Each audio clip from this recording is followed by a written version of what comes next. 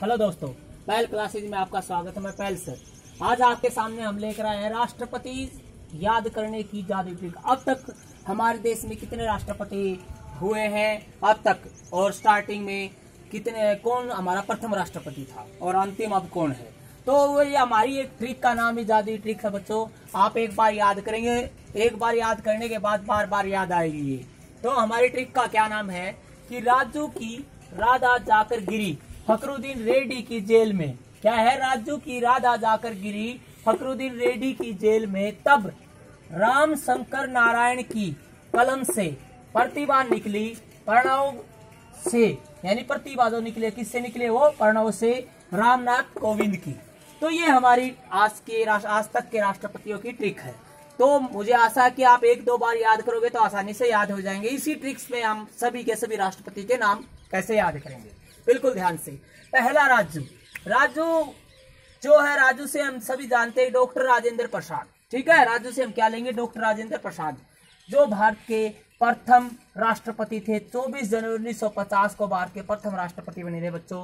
12 साल तक इन्होंने राष्ट्रपति शासन पद पर कार्य किया। ठीक है? तो ये ऐसे व्यक्ति थे, एक मीटिंग में बैठकर राष्ट्रपति पद पर निर्वाचित किया गया था। इसी दिन हमारा राष्ट्रपति जब बने थे, इसी दिन जनगण मन को गाया गया था। आपको ये बता दें, चौबीस जनवरी उन्नीस सौ पचास ठीक है बच्चे? इसके दो दिन बाद 26 जनवरी को, इसके दो दिन बाद 26 जनवरी को हमारा संविधान लागू किया गया था, ध्यान रखना, दो दिन बाद। ठीक है बच्चे? तो इसके दो दिन बाद 26 जनवरी 1950 को हमारा संविधान लागू कर दिया गया था। ठीक है? राष्ट्रपति बनने के बाद से।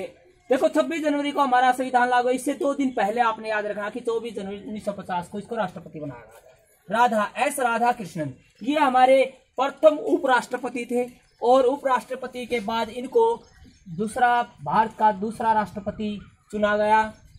बच्चों, इनके जन्मदिन पर पाँच सितंबर को क्या बनाया जाता है? अध्यापक दिवस। जिन्हें पाँच बार नोबल पुरस्कार मिला हुआ है। ठीक है, ये पूछ सकते हैं कि ऐसे पहले, कौन से राष्ट्रपति जिन्हें पाँच बार नोबल पुरस्कार मिला है? वो है एस राधा कृष्णन ठीक है बच्चे? सर्वपल्ली राधा कृष्णन पाँच सितंबर इन्हीं के जन्मदिन पर मनाया जाता है। आपको पता है अध्यापक दिवस। जाकिर, जाकर, ये थे राधा। यानी राधा कृष्णन की बात हो गई आप जाकर। जाकर कौन थे? जाकिर हुसैन। जाकिर हुसैन पहले मुस्लिम राष्ट्रपति थे बच्चों। जिन्होंने पद पर रहते हुए जिनकी मृत्यु हो गई और हरियाणा में जब राष्ट्रपति शासन लागू हुआ, उस समय जाकिर हुसैन राष्ट्रपति थे। हमारे उन्नीस सौ सड़सठ की बात है इंदिरा गांधी भारत की प्रधान मंत्री थी। तो इंदिरा गांधी के शासन काल में जाकिर हुसैन राष्ट्रपति थे बच्चे तो उन्नीस सौ सड़सठ में पहली बार हरियाणा में राष्ट्रपति शासन लागू किया गया। जाकिर के बाद बच्चे आता गिरी। तो गिरी हमारा चौथा राष्ट्रपति था, जिसका नाम था वीवी गिरी। इसको बोलते हैं वराह गिरी वेकेंट, इसका पूरा नाम था बच्चों, ठीक है? एक साइंटिस्ट थे।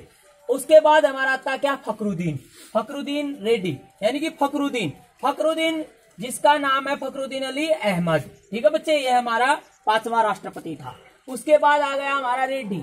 रेड्डी जो नीलम संजीवा रेड्डी, जो हमारे नीलम संजीवा रेड्डी थे, इनके बारे में मैं कुछ बताता आपको। ये निर्विवादित चुने गए थे। ठीक है बच्चे, इनका चुनाव क्या, कैसे हुआ था? निर्विवादित। ठीक है, बिना किसी विवाद के चुने गई थी नीलम संजीवा रेड्डी। आदमी थे, ध्यान रखना। रेड्डी की जेल में, अब जेल। जेल का नाम आता बच्चों, जेल ज्ञानी जेल सिंह, प्रथम सिख राष्ट्रपति, पहले सिख राष्ट्रपति। जेल में तब राम शंकर राम शंकर, राम से हमारा बनता क्या? राम किशन वैकेंट रमन। तो राम का हमने किया था बच्चे? राम के बाद हमारा आ गया शंकर।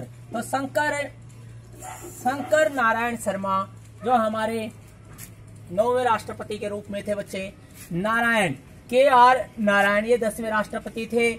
कलम। ग्यारहवें राष्ट्रपति के रूप में अब्दुल कलाम आज़ाद। इनको कौन नहीं जानता बच्चे, ठीक है? ये मिसाइल मैन थे। इनका दूसरा नाम क्या था? Missile man. Missile man. ठीक है बच्चों? विदेश में इसको इनको मिसाइल मैन बोला जाता था। और ये बहुत ही मतलब ऐसे आदमी थे जो देश के लिए मतलब कार्य करते थे। ठीक है बच्चों? और मिसाइलों बनाने का काम करते थे, साइंटिस्ट थे।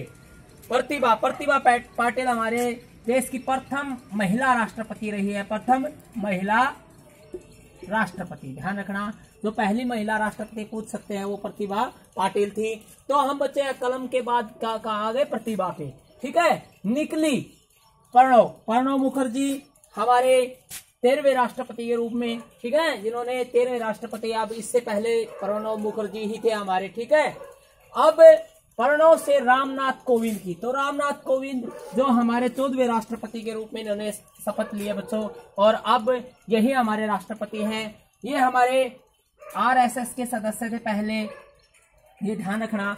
उसके बाद बच्चों, में राष्ट्रपति के बारे में बताता हूँ। इनकी सैलरी जो होती है, राष्ट्रपति की सैलरी अब पाँच लाख रुपए हो गई है। ठीक है? तो ये ध्यान रखना। और राष्ट्रपति क्या करता है?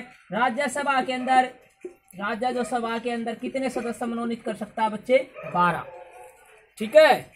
और लोकसभा के अंदर कितने सदस्य है? जब चुनाव होता है राज्यसभा लोकसभा के सदस्य का दो। तो ये कुछ बातें हैं राष्ट्रपतियों के बारे में। ठीक है बच्चे?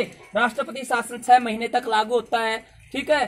तो राष्ट्रपति को याद करने की जो हमारी ट्रिक्स थी, ट्रिक्स एक एक नाम मैंने लिया है, और उससे मैंने आपको सभी राष्ट्रपतियों के बारे में बताया है। मुझे आपसे यही आशा रहेगी कि हमारी ट्रिक का प्रयोग करते हुए आसानी से आप राष्ट्रपतियों के नाम याद कर लेंगे।